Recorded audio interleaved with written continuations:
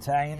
Why don't you tell us what's on this here uh, Bigfoot sandwich? Well, it starts with a fresh Amoroso roll. Okay. Okay. We got hard Hard salami on the bottom. Mhm. Okay. Lettuce, tomato, onions, hot sweet peppers. We got grande provolone cheese. We got capicola, and we got the pepper ham on top. Okay, well, that sounds like an amazing sandwich, but a Bigfoot sandwich really isn't a Bigfoot sandwich unless it's on an Amoroso's roll.